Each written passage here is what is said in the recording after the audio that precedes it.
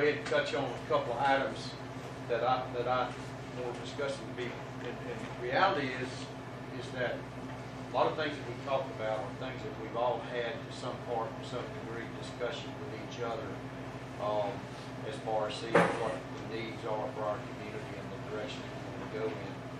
Um, I've got two things here. One of them is, I'd like for us really to put a real good, maybe a better emphasis on our appointments to boards, commissions, and authorities when we have the opportunities to do that. I think that, um, when these vacancies are coming up, we know that they're there.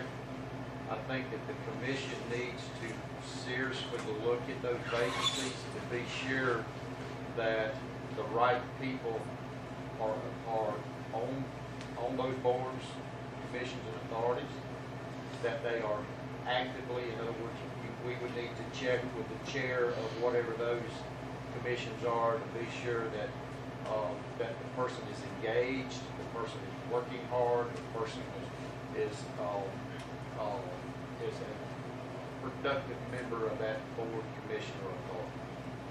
I think also it would be responsibility of commissioners, short of any other term to say, but, but basically to do some recruiting from that standpoint. Just because you've got somebody that says, I'd like to serve on a board, doesn't necessarily mean that that individual may or may not be a good board member. I think that if you do your due diligence at that point in the community, to go through an interview process, if that's what you want to call it, to talk with that, in depth with that, um, that individual. Um, and bottom line is, when we have the opportunity to make the appointments, then we need to be making the best choices that we probably possibly can. We need to encourage as well citizens of this community to step forward and participate on these boards, commissions, and authorities. And at the end of the day, we would have good people in good places doing good work.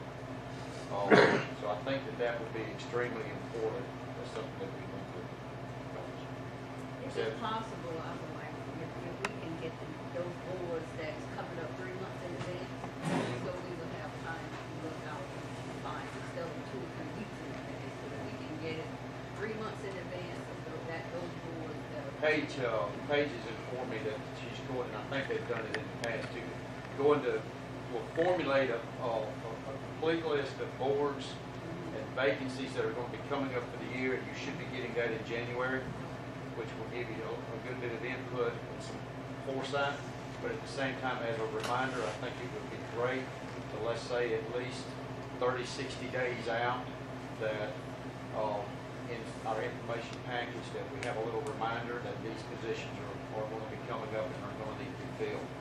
Uh, but I think as a commission, here, as, as your county commission, I think that you, we should be charged with our due diligence, or to to do our due diligence and go out there and try to find the best people for these jobs. It's not a popularity contest that we're running here.